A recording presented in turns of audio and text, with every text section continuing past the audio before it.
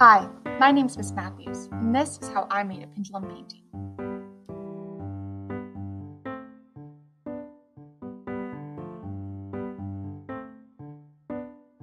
It all started the other day. I was bored at home with nothing to do, so I decided, hey, I'll just download TikTok. As I was scrolling, I saw this viral trend called pendulum painting. It was so cool, I thought, hey, I could try that.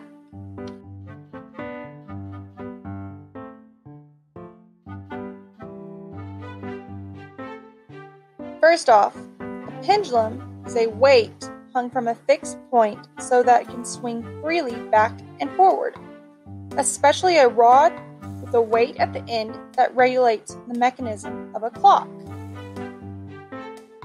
If you've ever seen a grandfather clock, then you've seen a pendulum. The thing swinging back and forth at the base is keeping perfect time. Every time it moves to the left and back to the right, that's one second, and that's what keeps the clock running. There are some important factors when we look at pendulums. One, the length of the string. Two, the mass. And three, the period. In order to create a pendulum, you must have a mass, or what physicists call a bob. It has to have significant weight in compared to the string. The string should be virtually massless.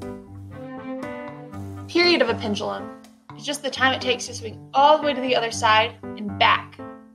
Once it completes one rotation, that's one period. In the graph on the right is Lissajous patterns. As you can see, they're patterns with different types of ratios. The top left shows a 1 to 1 ratio, which creates a circle, but right next to it, a 1 to 2 ratio looks like a figure 8. As you go through these ratios, you get really cool patterns.